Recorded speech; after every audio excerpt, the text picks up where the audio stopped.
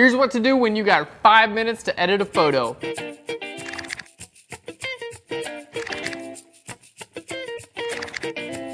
Hey guys, welcome to Phlearn. My name's Aaron Nace. You can find me on Twitter at AKNacer. Today I've got five minutes to edit this photo by Alexander. He won our contest last week. We have a great photo and I'm just gonna show you guys what you can do to enhance this photo in just five minutes. So I've got a timer. We're gonna go ahead and get into it. If you've got five minutes of your life, set them aside because you're about to learn some awesomeness and go along for a wild ride along the way. So here we go. We've got our, our timer here and this is our image by Alexander. As soon as it hits start, I am going to go for it. All right. Um, oh, by the way, a little bit of disclaimer. I'm probably going to explain things a little bit less than normal today because we're on a time rush. All right, here we go. Start.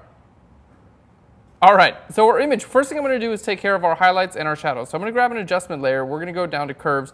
I'm to click on my midpoint and drag that down right to about there. And that's to take care of any blown out areas that I've got. Now I'm to go to image and I'm to go down to apply image. I'm to choose invert to uncheck that. We're to choose merge RGB multiply in at 100%. Okay, that's to take care of our highlights where they was just overexposed just a little bit. Now we're to take care of our shadows. We're to go to curves. I'm to bring those up a little bit. There we go. That looks pretty good. I'm to bring our blues up a tiny bit because we've got blues in our shadows. We've got greens, and I'm to bring those up a tiny bit as well. There we are as well. Now I'm to go up to image, and we're to go down to apply image. I'm to click on the invert now, and that's to affect my shadows instead of my highlights. So we can see those two changes. We've already relatively well fixed our exposure. Now I'm to go down here and go to a hue saturation adjustment layer. What we're to do is I'm to choose my blues. So we're to choose over here get my eyedropper and actually choose these blues. I'm going to pull the lightness down and pull the saturation up. We're also going to change this blue just a little bit towards green and that's just going to give it a little bit more of that editorial look. So we'll see that before and after right there. Next thing I'm going to do is I'm going to take care of our skin. So we're going to take a brush tool. We're going to use a 10% flow and I'm going to start sampling here in our skin. There we go. And we're just going to do like a minor retouch. Now this is something that you can do as long as you're painting with like a 5 or 10% flow you're totally cool here. You're not going to be destroying a ton of skin texture or anything like that. I'll turn the before on after, before and after on in just a second here. There we go. Looking good. Even areas that are a little bit unsmooth like that, you can go ahead and bring them all together.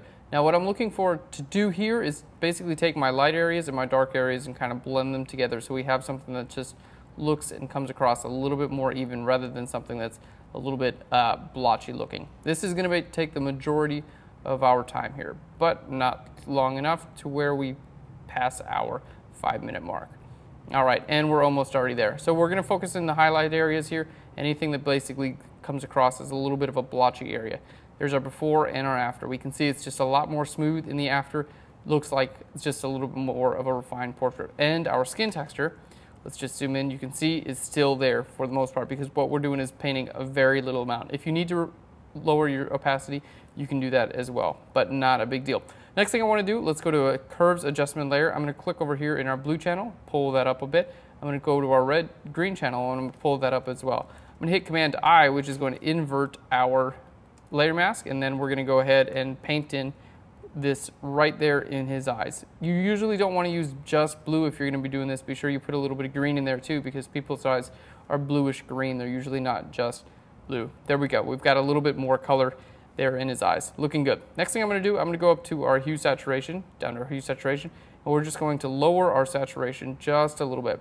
There we go. That's looking a little bit better, a little bit more on the editorial side of things. Next thing we're going to do, I'm going to saturate, or I'm going to sharpen this image. So I'm going to create a new layer, Shift Option Command N, Shift Option Command E, Shift Option Command U to desaturate that. We're going to get a filter, other, and here to high pass. Before I do, I'm actually going to change this to overlay.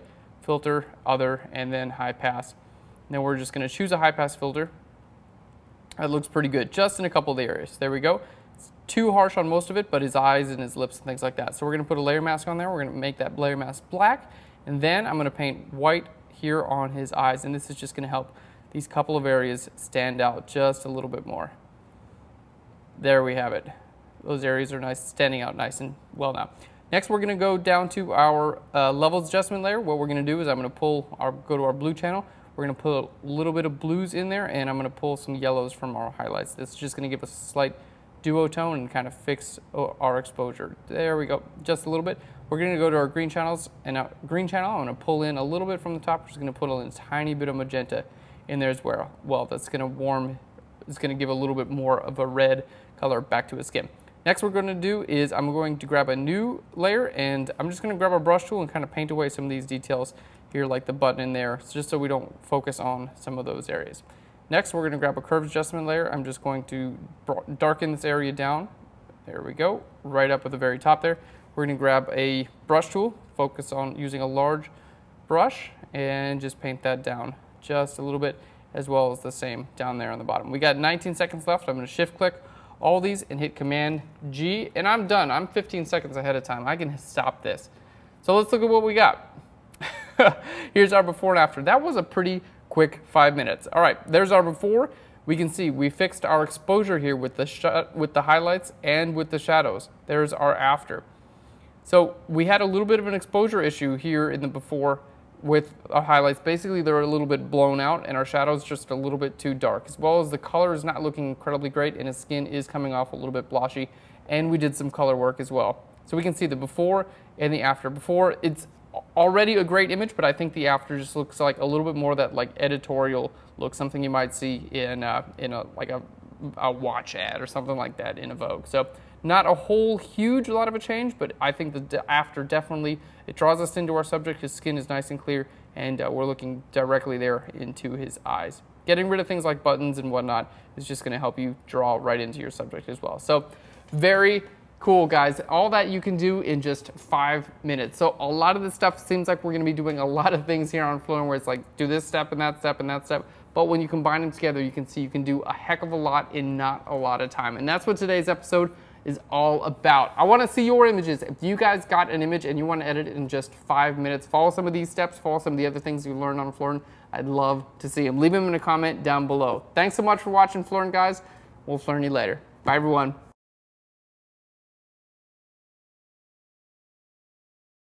10 seconds to spare, like a baller.